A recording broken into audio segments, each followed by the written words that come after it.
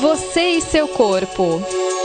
Oferecimento: Vivenda do Brasil, cosméticos inteligentes.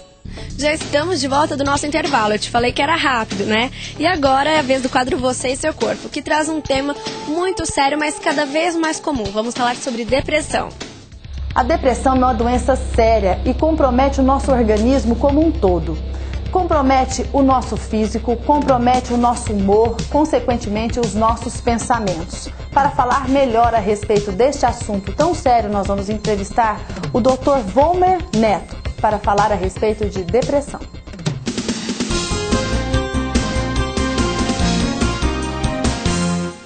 Olá, Dr. Volmer. Eu gostaria que o senhor esclarecesse o que, que caracteriza a depressão. Bem, a depressão basicamente significaria uma tristeza exagerada uh, e mantida por muito tempo, acompanhada em geral de muito pessimismo, de desesperança. Em geral também interfere com sono, com apetite para menos. Uh, e vem acompanhada muitas vezes de pensamentos negativos, como pensamentos suicidas. Basicamente seria isso. Doutor, como é feito o diagnóstico da depressão? A, a depressão não é um, um, problema que se diagnostica com exames. Né? O diagnóstico é baseado apenas na entrevista clínica com o médico psiquiatra. Uma vez diagnosticado, quais são as formas de tratamento? Existem duas formas basicamente de tratar. Né? Existe a psicoterapia, que é um tratamento baseado na entrevista, na conversa com o profissional pode ser feito com psiquiatras e com psicólogos, são os profissionais habilitados a fazer. E o tratamento medicamentoso, com medicação, que pode interferir uh, e melhorar o quadro, que é feito apenas com o psiquiatra. A maioria das doenças, a gente tem tratamentos que controlam bem o quadro e são eficientes. No caso da depressão, pode acontecer da pessoa fazer um tratamento é, bem sucedido e não ter mais. Poderia se chamar isso de cura. Quanto tempo dura em média um quadro de uma pessoa depressiva? E se essa pessoa que teve a depressão, ela pode ter uma recidiva, repetir esse quadro novamente?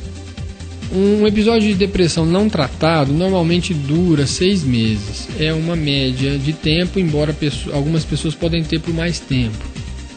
Ah, normalmente, quando faz o tratamento, essa duração é menor em geral 15, 20 dias espera-se já alguma melhora. Ah, uma pessoa que já teve, sim, pode ter novamente, é, aliás, é bem comum, né, o fato da pessoa ter tido uma vez aumenta a chance dela ter de novo. Doutor, por exemplo, a pessoa que sofre da depressão, ela pode também ter o transtorno bipolar ou não? Na verdade, essa é uma questão importante e difícil de de se esclarecer, porque não é que o paciente que teve depressão vai ter o transtorno bipolar. Na verdade, o que acontece é o seguinte: as pessoas que teriam transtorno bipolar, muitas vezes a primeira manifestação do problema seria um quadro depressivo. E aí, a outra parte do problema, que em geral são crises de agitação, inquietação, aceleração de pensamento, vai aparecer depois ou até em decorrência do tratamento do, com antidepressivo, que pode desencadear esse tipo de crise. Quem tem maior probabilidade, doutor, de ter depressão, o homem ou a mulher? É maior, é maior em mulheres. Né? A, a prevalência é, é bem maior em mulheres, depende do estudo, mas a maioria dos estudos de prevalência indica preponderantemente em mulheres, às vezes taxa de 3 a 4 para 1.